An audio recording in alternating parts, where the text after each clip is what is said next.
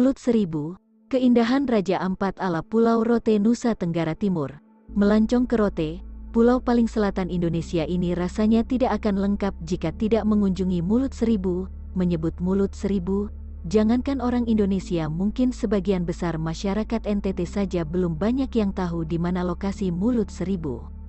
Mulut Seribu terletak di Papela, Pulau Rote, Rote Timur, Provinsi Nusa Tenggara Timur. Daya tarik Mulut Seribu ialah cerita mengenai keindahannya yang katanya mirip dengan keindahan Kepulauan Raja Ampat di Papua yang tersohor itu.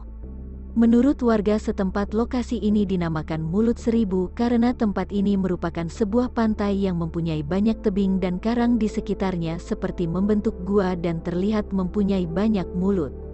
Jadi, bisa dibilang perjalanan Mulut Seribu adalah perjalanan menyusuri laut, serta melewati tebing-tebingnya yang terbentuk secara natural, perjalanan dihiasi dengan pemandangan batu-batu karang yang tak jarang ditumbuhi oleh pepohonan. Hijaunya pohon terlihat kontras dengan gelapnya batu karang.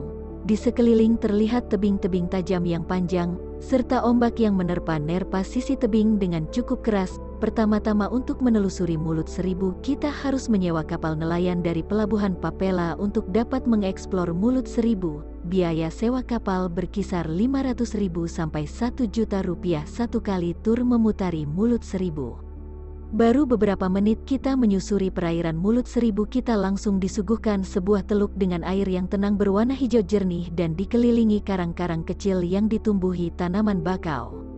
Sekilas terlihat karang-karang itu seperti pulau-pulau kecil yang berada di teluk. Pulau-pulau kecil yang terhampar di teluk Mulut Seribu itu memiliki jalan masuk dan jalan keluarnya. Seperti bermain labirin, nahkoda kapal harus tahu mana jalan masuk dan jalan keluarnya agar tidak tersesat.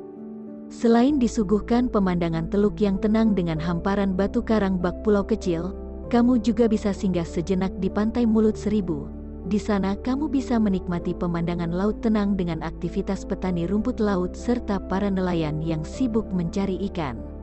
Setelah puas mengeksplor Mulut Seribu, untuk kembali ke pelabuhan Papela kamu harus melewati laut lepas jika sudah pukul 3 sore ke atas. Hal ini dikarenakan labirin mulut seribu sudah mulai pasang sehingga tidak bisa dilalui lagi.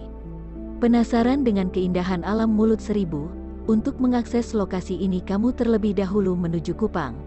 Setelah tiba di Kupang kamu bisa menggunakan pesawat dengan harga berkisar 100 sampai 300 ribu rupiah dengan 15 menit perjalanan untuk bisa sampai di Baa ibu kota Kabupaten Rote.